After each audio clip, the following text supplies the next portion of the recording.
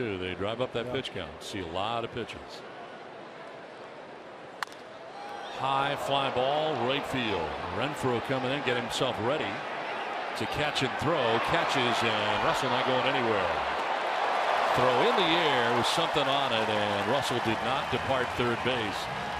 He did bluff to draw the throw We're the second out of the inning as we check in with Bob Scanlan.